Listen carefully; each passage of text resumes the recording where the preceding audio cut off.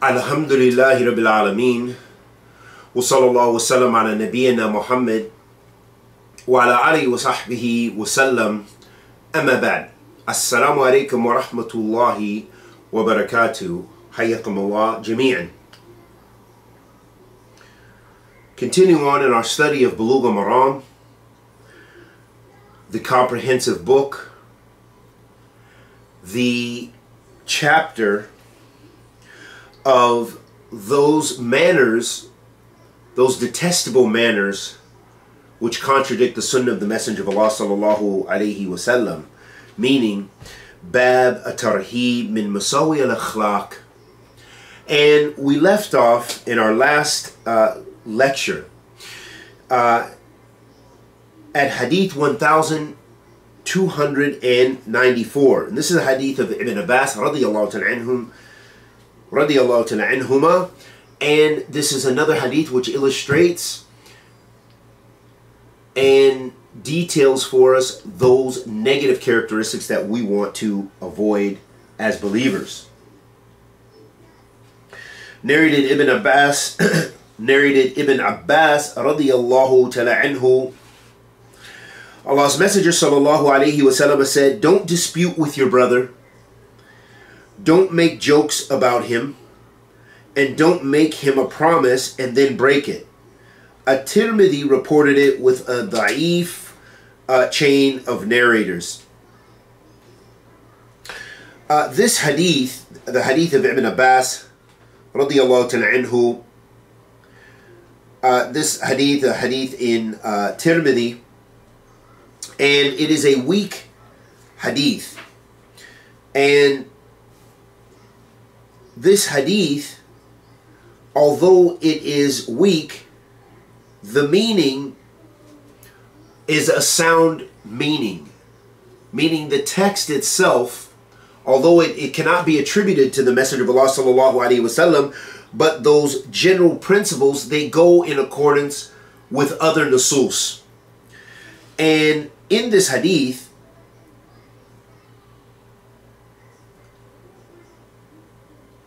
it was alleged that the Messenger wasallam said, "Don't dispute with your brother, don't make jokes about him, and don't make him a promise then break it." And we know that from other ahadith that we studied prior to this that uh, ridiculing and riba and uh, you know ridiculing people, likewise uh, making promises, making promises being from those characteristics of nifaq, those uh, hypocritical characteristics. And that these are all traits that are madhmoom. And that's why Ibn Hajar, rahmatullahi alayhi, he classified this hadith or put this hadith in this uh, chapter, in the chapter of wicked mannerisms. And because all of these characteristics are negative characteristics, which are unbefitting of the uh, believer, and we can see from other nusus, even though this hadith is a weak uh, hadith, weak in its chain of narrators, uh, this hadith of Tirmidhi, it's still in its meaning. Uh, we we uh, know that the meaning is a sound meaning, meaning that these traits are madhmuma and that is known from the book of Allah and the sunnah of the messenger of Allah sallallahu alaihi wa alihi wasallam. In the next hadith, hadith 1295, narrated Abu Sa'id al-Khudri radiyallahu Allah's messenger sallallahu alaihi wasallam said, there are two characteristics which are not combined in a believer.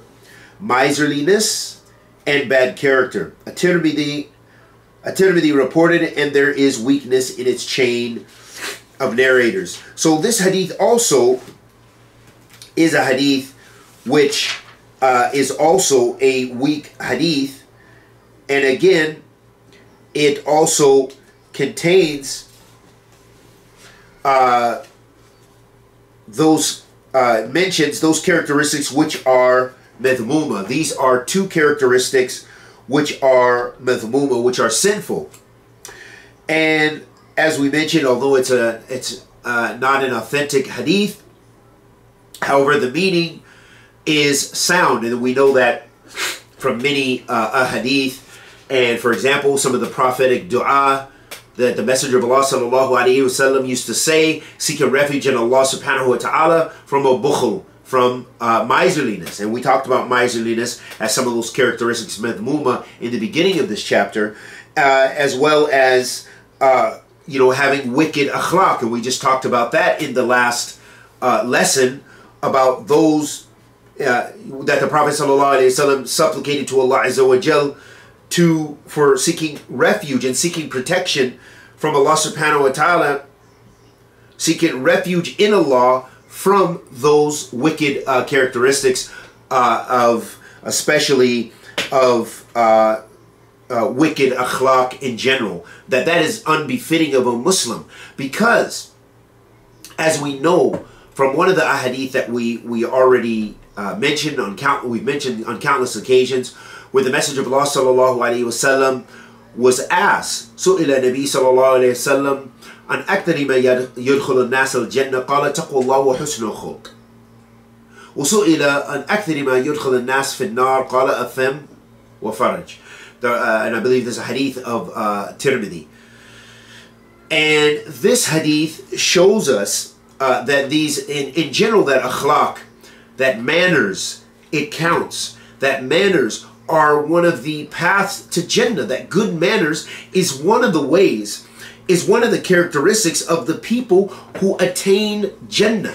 That's, that's absolutely, uh, it, it verifies for us that that's imperative that we have this understanding, that we know and understand that uh, righteous conduct and that controlling our, ourselves and our manners and, and restraining our tongue is important. So in that hadith, uh, the Prophet ﷺ was asked, The Prophet ﷺ was asked about what are those things which uh, mostly lead people to, that, that are some of the things which mostly, that lead people the most to paradise. And the Prophet ﷺ said, Taqwa wa husnul. He said it's taqwa, it's fearing Allah subhanahu wa ta'ala and righteous manners. So it shows us that those are two imperative uh, manners and akhlaq and all of the good that are surrounding those characteristics that the Muslim needs to have those characteristics because those are the things that help them get to Jannah. And as we talked about before, taqwa Allah subhanahu wa ta'ala, that is adhering to the commands of Allah and uh, avoiding his prohib prohibitions. And that the husnul khulq the righteous conduct and righteous manners, that is shamil. That includes all of those things. That could be something with the tongue. It could be smiling. It could be, uh, you know, lending money to someone in need or giving sadaqah to someone in need or speaking a good word or all kind of various ways in which we can do righteous conduct to our families and to other than our families, to Muslim and non-Muslim. And just having good adab with our Lord subhanahu wa ta'ala by worshiping him and him alone and, and avoiding uh, ridiculing his religion subhanahu wa ta'ala and by following the sunnah of the Messenger of Allah sallallahu alaihi wasallam, this is also a part because that's how we learn what good manners are. So all of that is a part of that ma'ruf, and all of that uh, is contained in husnul khulq, in righteous conduct. So those are the characteristics that we want. And so from this hadith, although it is uh, not an authentic hadith, we know we need to stay away and avoid miserliness by being, you know, holding on to that wealth and not spending in righteousness and being uh, being miserly. And we uh, need to uh, avoid having bad characteristics, bad character and bad conduct in general. And that's the whole, and that's why we see that this hadith is listed uh, in this uh, in this bab. In the next hadith, The next hadith uh, is a hadith of Abi Huraira radiallahu anhu, hadith 1296, narrated Abu Huraira radiallahu anhu, Allah's Messenger sallallahu alayhi wasallam said, When two men revile one another, what they say is held against the one who began it, as long as the one who is wronged does not transgress the limits in responding. Ruwahu Muslim. This hadith in Sahih Muslim the hadith of Abi Huraira radiallahu anhu, where the Messenger of Allah sallallahu alayhi wasallam uh, alerted his ummah to character a characteristic which should be avoided, and that's why Ibn Hajar listed it in this chapter because this characteristic of of uh, uh, speaking and reviling uh, one's brother in Islam, that this is a uh, a negative trait which the uh, mu'min should avoid. So this hadith it clarifies uh, two very important things. The first is that the act of avenging oneself on someone who has committed an inequity, meaning someone who has wronged you, and, uh, you know, you have a right, you have a haq that you can defend, and it's fair and permissible to be equitable in uh, gaining your right from them or that maltreatment. Uh, another important point is, secondly, the whole sin shall be incurred by the one who starts the quarrel and perpetuates it as long as the other party does not exceed limits by committing an aggression. And despite all of this, we know, as we've mentioned prior to this, that the best of those is who is the one who who overcomes all of that and doesn't take retribution or doesn't and, and grants respite and forgiveness to someone who's even wrong done them wrong. So this is the one who has is in the best uh, situation uh, with regards to these uh, negative characteristics. But however, the and the one who is on the um, who is the recipient of this negative treatment, meaning that someone else began the fitna, began the uh, bad speech and so forth, that the person who responds, they're still in a better position because they did not start it. They were not the one who initiated this, but in fact, maybe they're defending themselves. Maybe they are just getting their right, and Allah subhanahu wa ta'ala uh, knows best. Uh, what we learn from some of the benefits of this hadith is uh, first that it is not permissible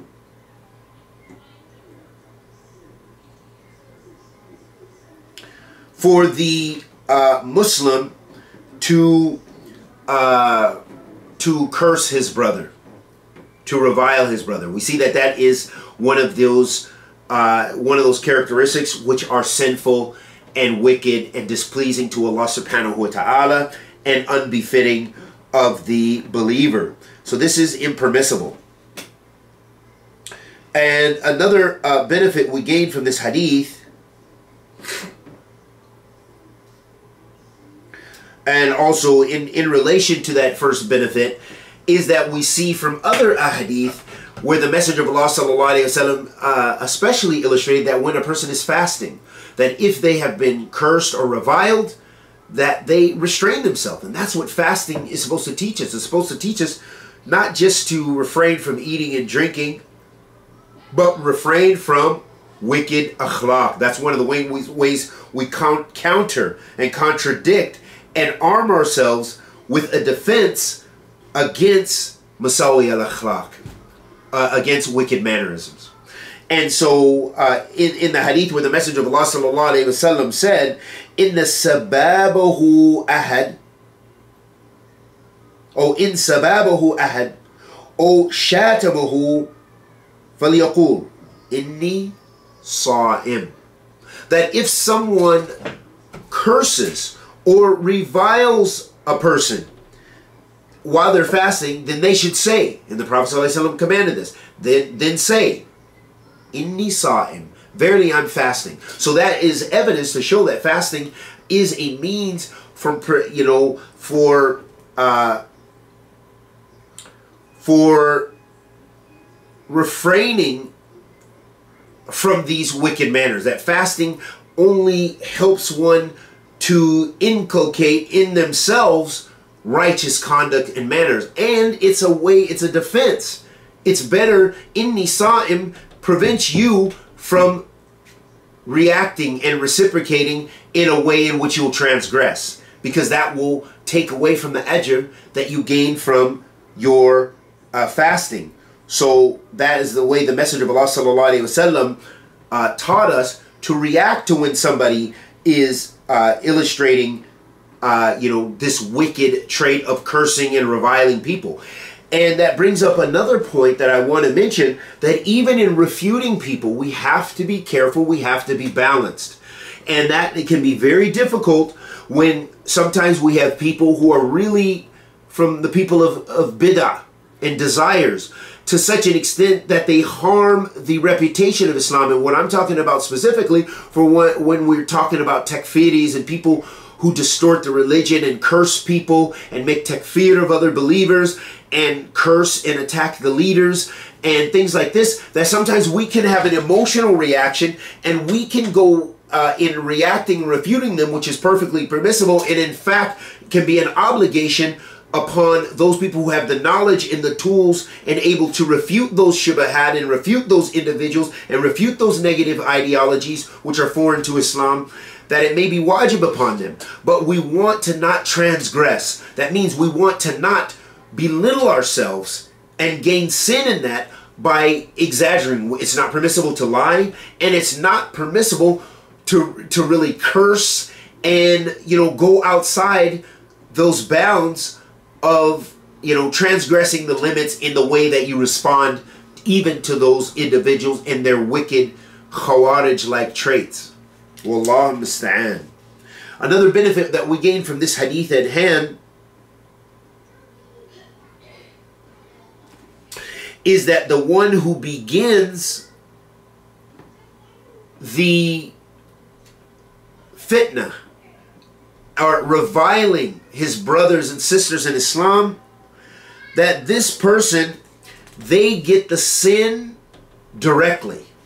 They get the sin directly, and that's in accordance uh, with the statement of the Messenger sallallahu alaihi wasallam when he said in the hadith, he said, uh, "When two men uh, revile one another, what they say is held against the one who began it." So right there in that ibarah, the Messenger of Allah sallallahu showed us that when the two people, when there's fitna that arises, the one who began that fitna, they're going to get that sin.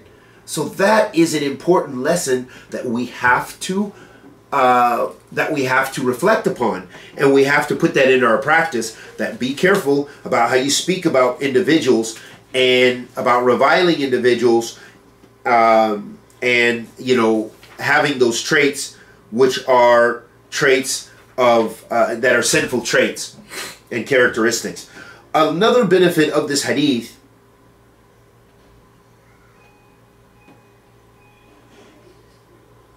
is that we see uh, in this hadith also we learn, or one of the benefits from this hadith is that it, it also clarifies or illustrates the hikmah of Allah subhanahu wa ta'ala, the wisdom of Allah tabaraka wa ta'ala uh, and his reward and how he rewards his servants and how he gives those people who are uh, who begin fitna and begin reviling people how he gives them their just punishment. And that's from the wisdom of Allah subhanahu wa ta'ala and that's from his justice and so we we see that because uh, as it's illustrated, and this is derived from the, the statement in the hadith where the messenger salawatu rabbi wa salamu said, Ma lam ya'tadil madlum. As long as this person, meaning this is the person who is receiving uh, the being cursed and so forth, as long as they don't transgress, uh, you know, the boundaries of being um, oppressed, you know, that they don't uh, oppress the oppressor in a sense, you know, respond by going beyond the bounds.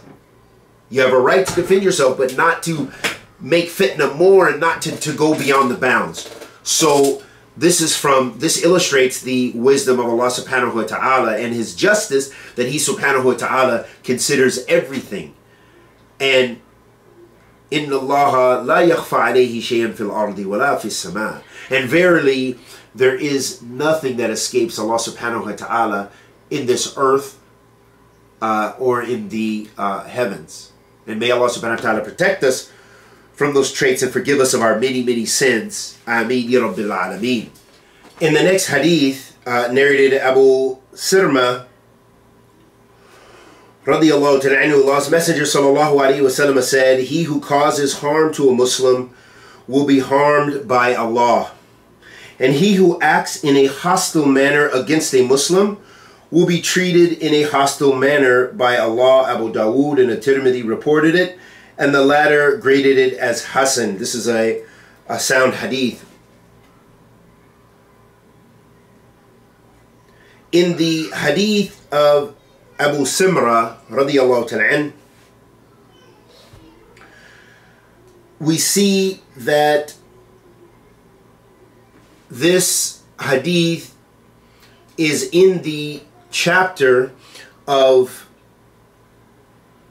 Masawi al-Akhlaq, you know, those wicked traits, because it shows that harming a Muslim in general falls under the category of uh, masawi al-akhlaq, you know, of bad manners in conduct or wicked conduct. So it's very important that the believers are conscious of this. And this requires a new way of thinking for many of the people because unfortunately, especially when you live in Muslim countries and you're in Muslim uh, populate, populated areas, a lot of times we take for granted that fact and we you know, do not see anything. Uh, we don't value Islam in the same way, so we treat one another in the worst of ways. And a, a case scenario is that I find many of the youth cursing one another and cursing and, and, and sending the curses upon Allah, upon one another in joking manners.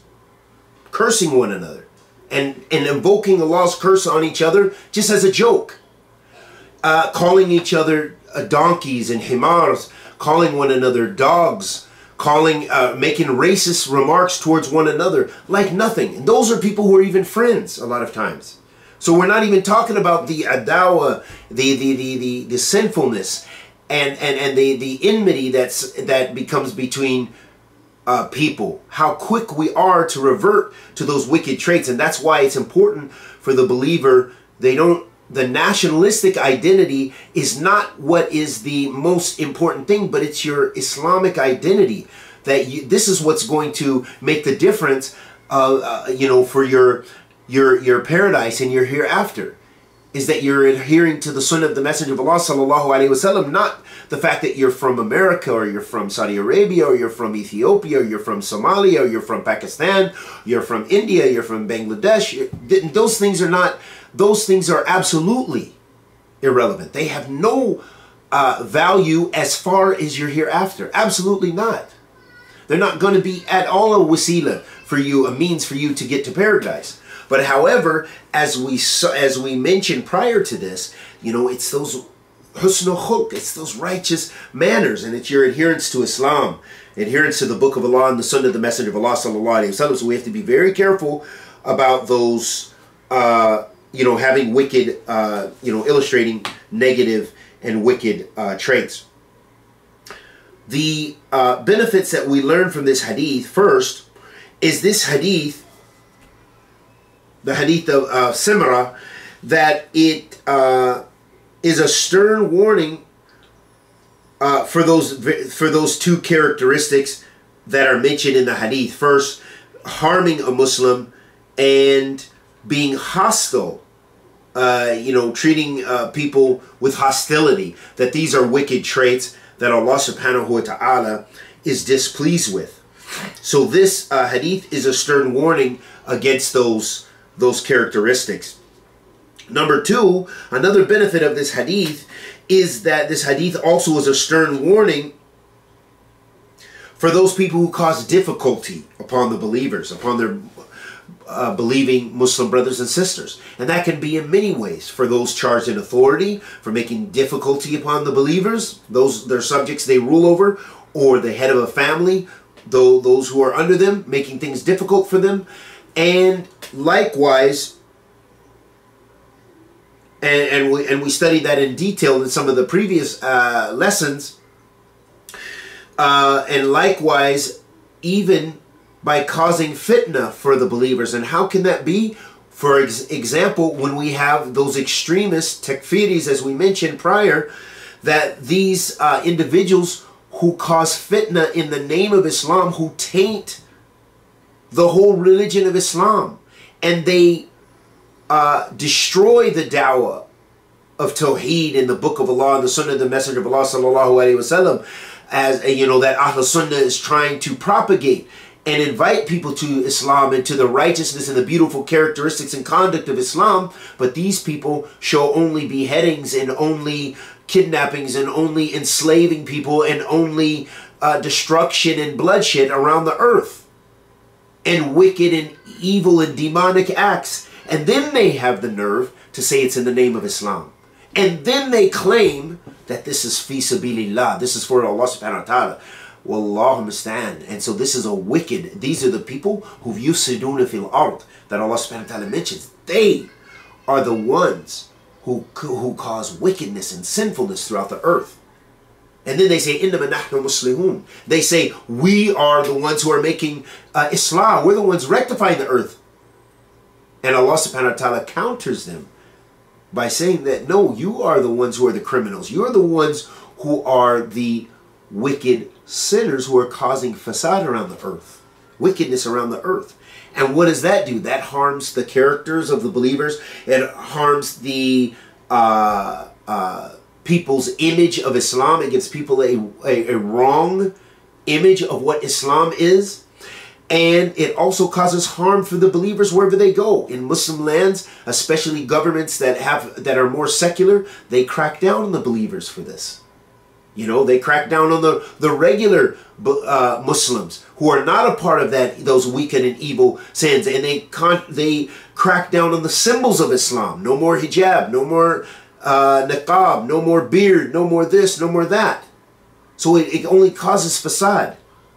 So those people, and Allah Subhanahu wa Taala knows best, fit under that character there that uh, fit under that cri- that. Um, you know, have exhibited that wicked trait and fit the criterion of being of those who spread wicked, wickedness and harm to the believers, even if it seems indirect.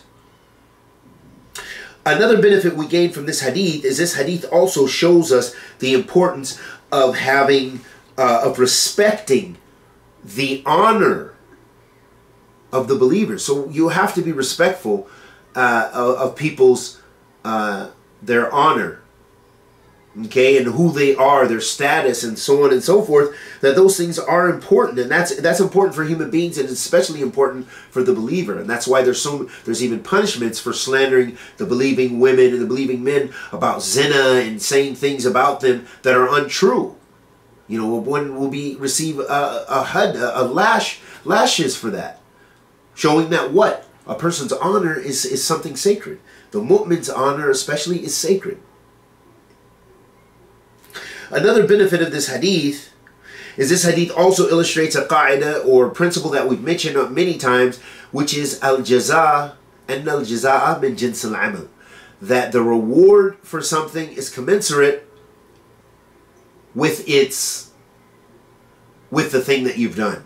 So meaning in this hadith how we see that illustrated is that the person who causes harm for the Muslim, Allah will pun- give him harm. Allah will harm them. So that means the punishment is commensurate with the crime or with the sin. You committed this sin, your punishment is uh, alike. Okay? And there are many uh, hadith that we've studied that uh, illustrate this, this concept. Another uh, benefit of this hadith is this hadith also shows that Allah subhanahu wa ta'ala uh, defends the his, his servants. Allah subhanahu wa ta'ala defends his servants and that those people who try to harm them or those people who harm them, they will receive a punishment either in this life and the hereafter or in the hereafter. So it's very important to not be of those who harm even if it's the honor of the believers that we have to be very cautious about having those negative characteristics. And may Allah forgive us of our many, many sins. Ameen, Ya Rabbil Alameen. Uh, another benefit, as there are many benefits of this hadith,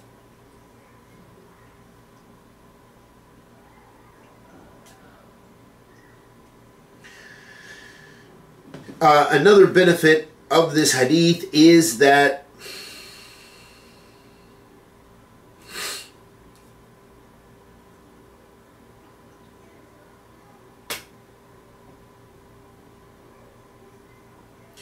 this hadith uh, also affirms the knowledge of Allah subhanahu wa ta'ala, ilm, ilmillah, uh, azza wa jal, and his qudra, and his ability, and his hikmah, and his mercy, and his justice. So this hadith is an illustration of Allah subhanahu wa ta'ala. It affirms that Allah the Almighty is uh, the omnipotent, and he is the, uh, you know, he has divine wisdom subhanahu wa ta'ala and he is the uh, most merciful and he is the most just tabaraka wa ta'ala and that justice will be met out.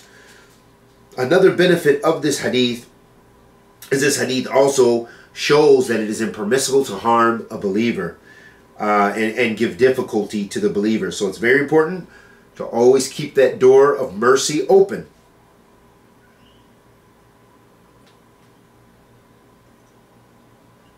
Another last benefit uh, we want to mention in regards to this hadith is that the, the person uh, who uh, deals with people with kindness and ease, that Allah subhanahu wa ta'ala will reward them in kind with ease and uh, gentleness. So it's very important that if you want to receive gentleness and kindness from your Lord subhanahu wa ta'ala, which we all are in need of and we all want, that you treat others with those characteristics that you want to, uh, with those, you know, you treat others with those same uh, characteristics. So that way, Allah subhanahu wa ta'ala will have mercy and kindness and gentleness with you.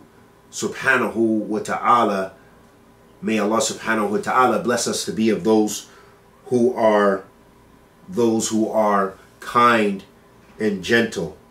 In the next hadith, hadith 1298,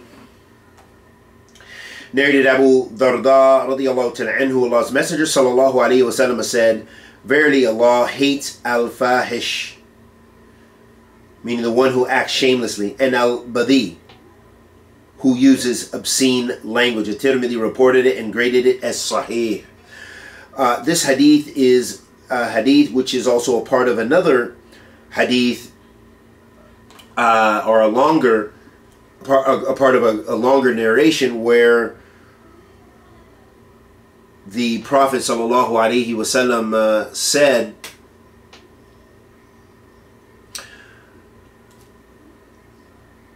ما من شيء أثقل في ميزان المؤمن يوم القيامة من حسن الخلق وإن الله يبغض الفاحش البذيء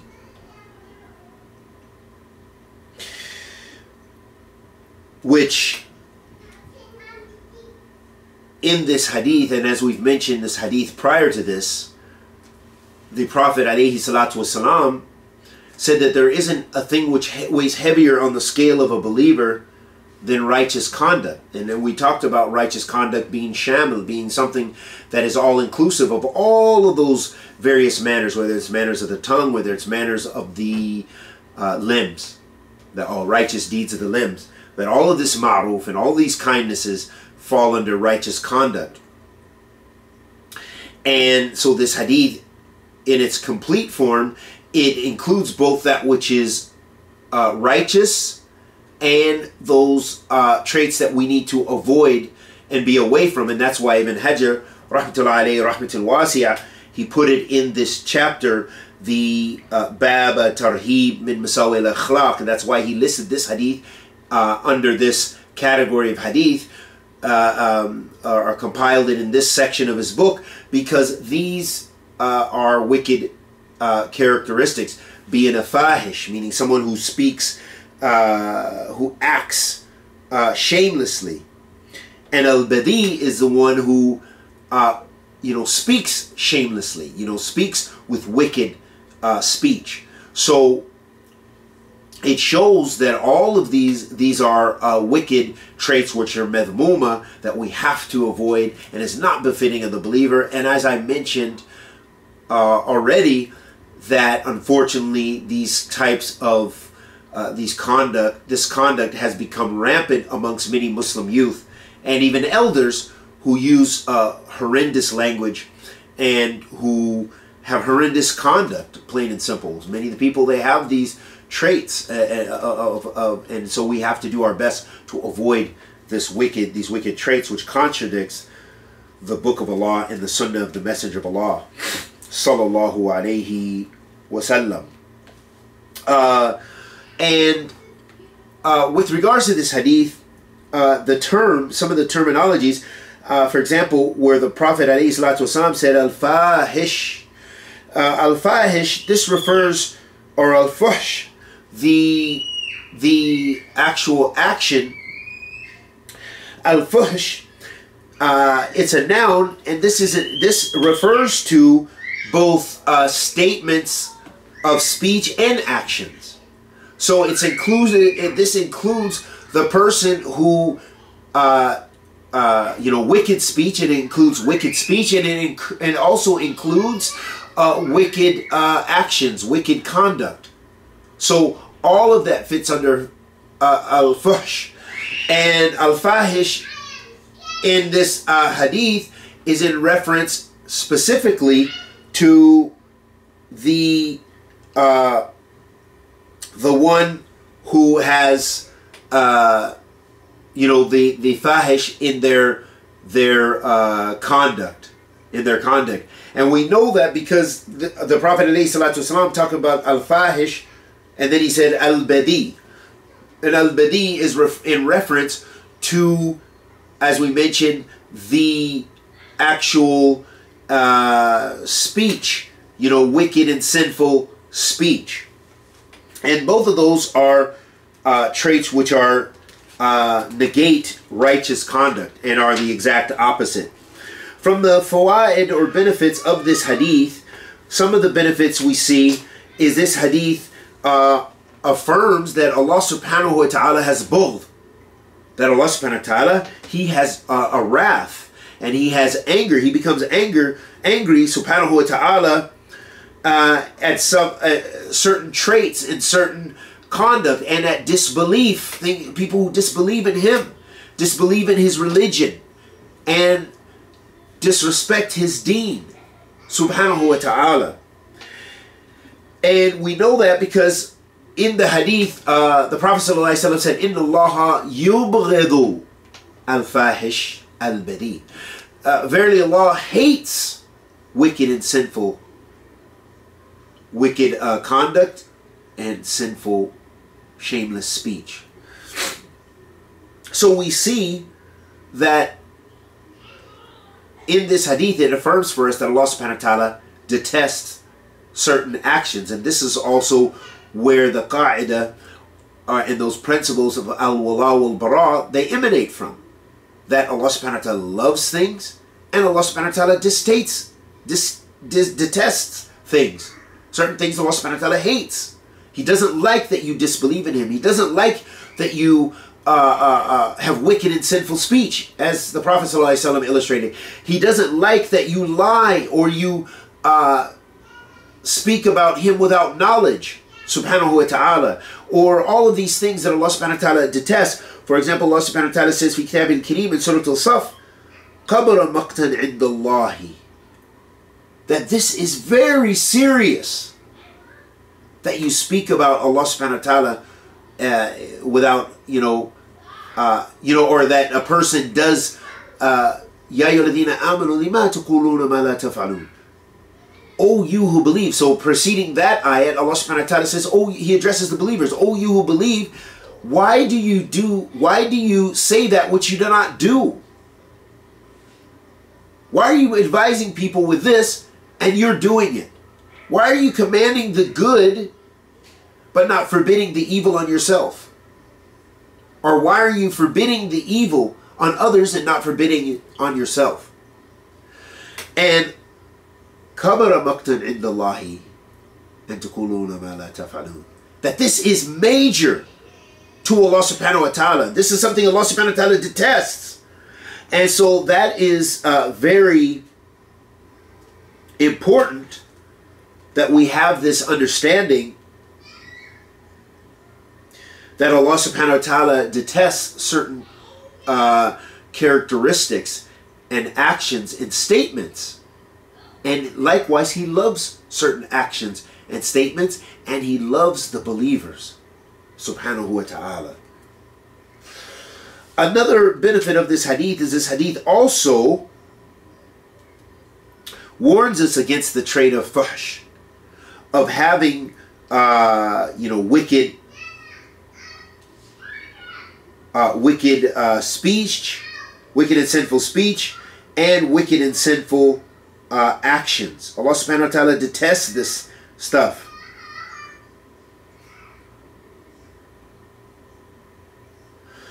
Uh, this hadith also is a warning against, you know, being harsh with people and especially harsh and using harsh and wicked speech and slanderous speech. All of this falls under those character those those traits of uh, of, of, fahish, of the traits of, of, a, of a fahish and al, al badi. This all falls under that, and so we have to beware and be careful of possessing those wicked and sinful uh, traits. In the next hadith,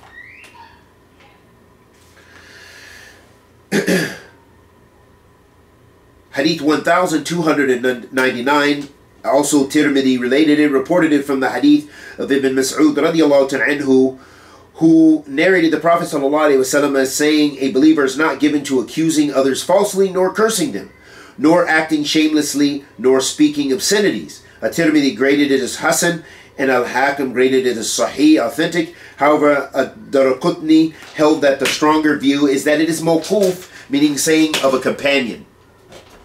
So this narration, whether it be mawquf and letting us know that this was from the method methodology of the Salaf and attributed to the statement of a companion, as Imam Ad-Darqutni said, and others uh, disagreed and held another view as far as this, whether it's attributable to the Prophet والسلام, or not,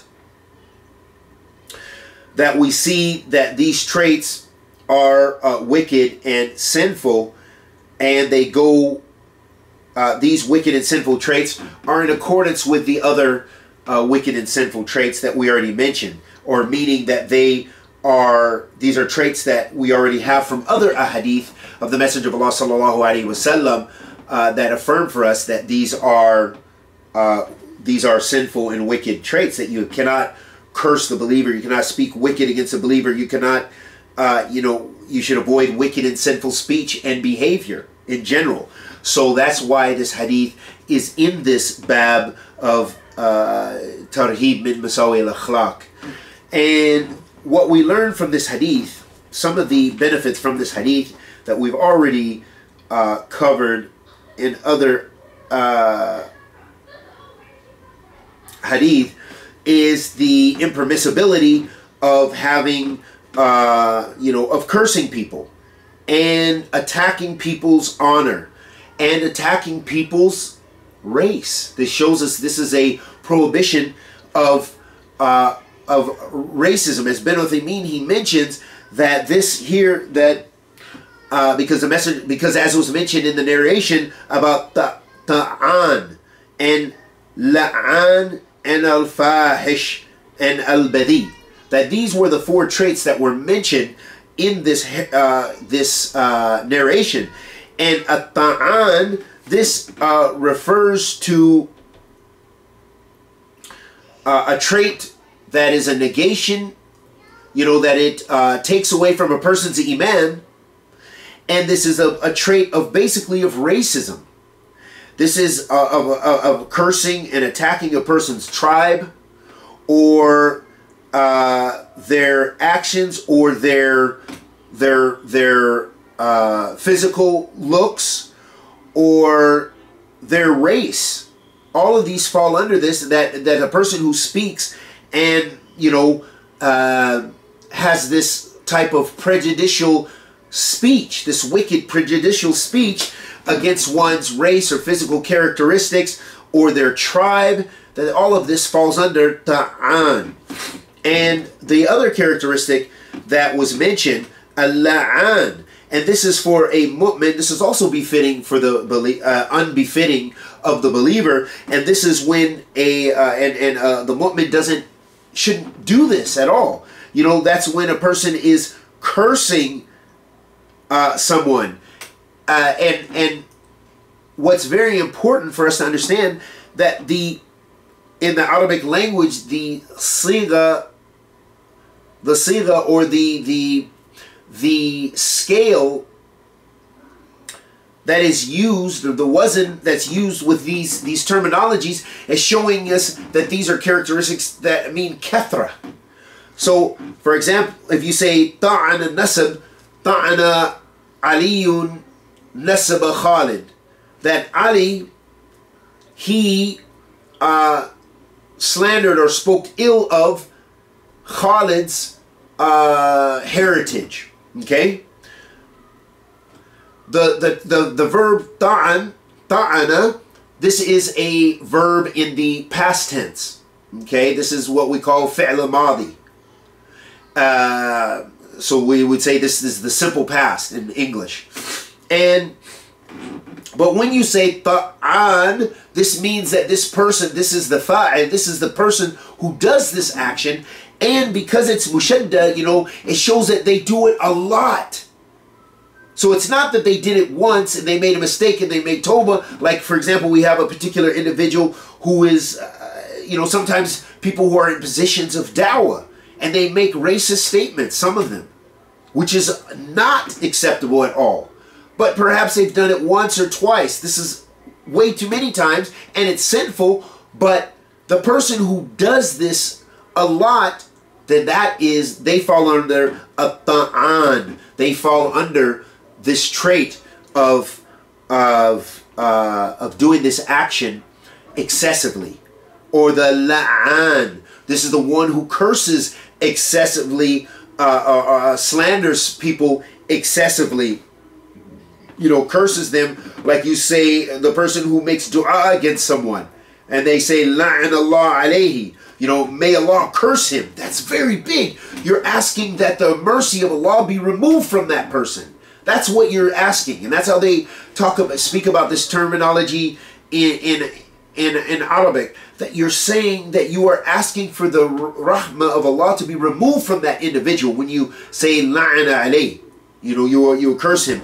And so that's a very big thing, and it's unbefitting for the believer, especially to do that with another uh, believer. So, and the one who does that excessively, they're called a la'an. And likewise, al-fahish. Uh, and this is the one who has the, uh, as we said, the, the wicked uh, speech, or it could be the wicked uh, actions you know, as wicked and sinful uh, conduct and, and, and, and action. So this could be physically physical actions in which they are wicked and evil towards others, or this could be the uh, through the tongue, like al badi. So it's very important we see from this the that these are sinful traits that the mu'min has to avoid by any and all means, and that's why Ibn Hajar rahmatullahi alayhi rahmatul. He put this in the Bab Tarhib min Masawi al-Akhlaq. This is in the chapter of those wicked and, and, and sinful uh, and wicked and sinful manners.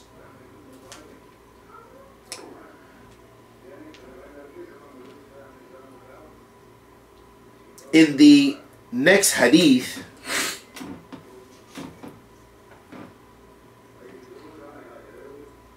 narrated Aisha radiallahu ta'ala Allah's Messenger sallallahu alayhi wasallam said, Do not revile the dead, for they have come to what they have sent before them. Al-Bukhari reported it.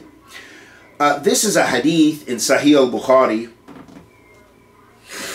In uh, the hadith of Aisha radiallahu ta'ala which is also under the Bab uh, and Masawi al Akhlaq. So we're still talking about those characteristics which are mithmuma, which are sinful. And from those wicked and sinful characteristics that the mu'min must avoid is reviling the dead. And what we know uh, and understand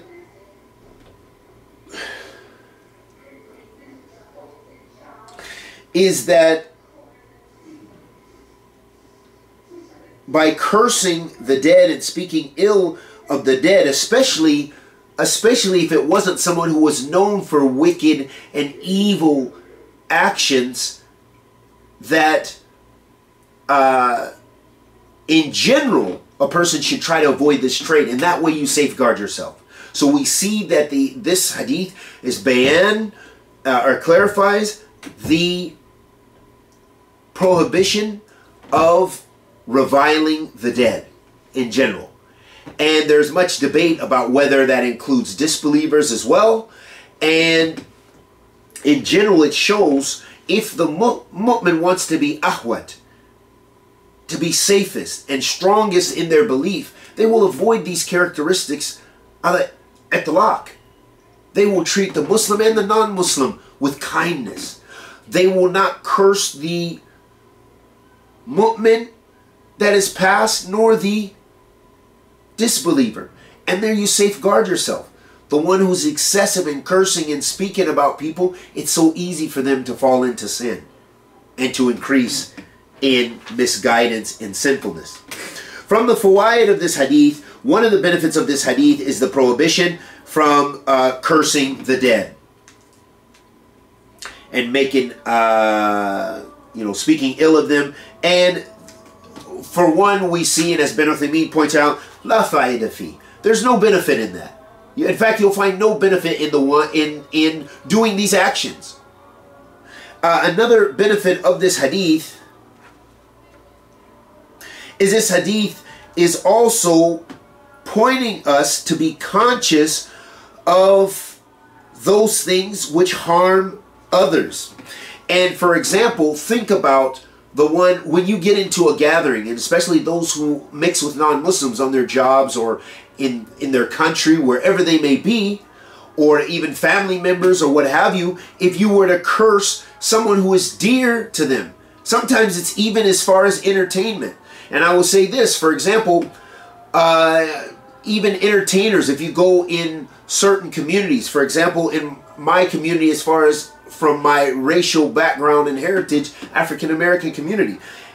Someone who's highly regarded amongst uh, a lot of people in certain age groups that still held as big would be Tupac Shakur. Now, whether you think he has role model like characteristics or not, that's besides the point. But if you were in certain gatherings and you curse him, people will take offense, and that will not do you any good as far as dawah But instead, it will make the people detest you. So that's where you see that, uh, as Ben Uthaymeen mentioned, la de fi. There's no benefit in cursing the dead. They've already gotten what they they have. You know, they were already. You know, they're into al barzakh. They're into the hereafter. They their deeds have uh, ended. And as the Prophet ﷺ said, their deeds have ended except three. إذا مات المرء انقطع عمله إلا من ثلاث الصدقة جارية العلم ينتفع به ولد صالح يدعو له uh, that when a person dies, their deeds cease except three: the the continuous charity, the uh, uh, you know knowledge that benefits other people, and a righteous child that supplicates for them on their behalf. So their deeds have stopped. They're already going to be. They're in the the process of of being judgment. They don't have of being judged. They don't have the opportunity to do anything else to improve their condi condition or worsen their condition. Their state is already finished in this life. They've already entered in the Dar al uh, Jaza. And as the Salaf used to say, a dunya, uh, a dunya uh, Dar al Amal wal akhirah Dar al Jaza, or kama qil that the Salaf used to say that this life is the, the time for actions, or time for actions and deeds. And the hereafter is the time for rewards. Because you're going to get what you what you did in this, this life. And so it's very important for the believer to be conscious about what they're saying and about speaking about the dead and cursing the dead. Uh, another benefit of this hadith is that it is not befitting for a person in general to speak about those things that have la fi, that have no benefit with them. And this goes and is illustrated in other narrations where the Prophet ﷺ said, for example, من كان يؤمن من كان مؤمن بالله واليوم الآخر فليقل خيرا وليصمت. Whoever is a believer in the in Allah in the hereafter, then say something good or keep silent. And we ask Allah the Almighty to accept our good and forgive our evil and protect us from kufr, shirk, and nifaq. And anything I said that was correct was from Allah Azza wa Jal. Anything I said that was incorrect was from myself and the shaitan. Wa sallallahu wa sallam ala nabiyyina Muhammad.